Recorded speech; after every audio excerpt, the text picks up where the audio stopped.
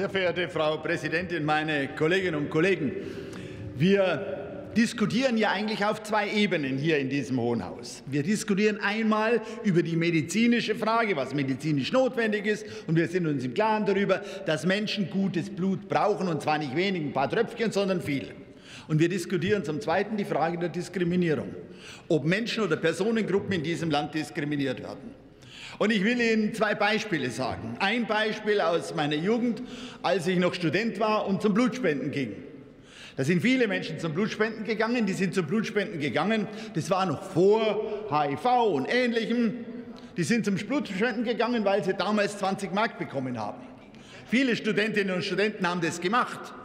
Und jetzt sage ich Ihnen ganz offen, wenn jemand 20 Mark will, glauben Sie ernsthaft, dass er bei dem Zettel ankreuzt, ich bin schwul, ich habe häufig wechselnden Geschlechtsverkehr, ich finde Frauen oder Männer interessant? Nö, macht er nicht. Er hat nur die 20, 20 Mark damals im Sinne gehabt. Und deshalb ist es eine Doppelzügigkeit einfach verlogen, wenn man diese Frage stellt, bei der man weiß, dass die überwiegende Anzahl der Personen schlichtweg bei dieser Gelegenheit liegt.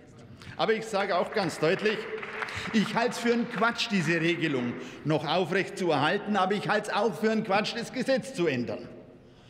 Denn zum einen, wir sind im Gesetz dafür verantwortlich, keine Diskriminierungen zu haben. Für den medizinischen Bereich müssen das die Ärzte machen. Und die müssen sich auf den Hosenboden setzen, die medizinischen Kenntnisse, die es heute gibt, nutzen und mit diesen medizinischen Kenntnissen anständige, ordentliche Richtlinien auf den Weg bringen. Ich sage auch ganz deutlich, es macht für mich überhaupt keinen Sinn, überhaupt keinen Sinn, die Aussage zu treffen, dass nur schwule Männer einem besonderen Risiko unterliegen, heterosexuelle Männer und heterosexuelle Frauen aber nur dann einem höheren Risiko unterliegen, wenn sie häufig wechselnden Geschlechtsverkehr haben. Was ist nun häufig wechselnder Geschlechtsverkehr? Muss man da täglich, muss man da wöchentlich, muss man jeden zweiten, dritten, vierten Tag oder reicht aus einmal Thailand? Gibt es ja auch, die das machen einmal im Jahr. Ich habe gelernt, eine sexuell übertragbare Krankheit und Infektion kann beim einmaligen Kontakt stattfinden. Also einmal falsch an der Stelle und schon ist es passiert. Deshalb ist es unsinnig, diese Regelungen noch zu behalten.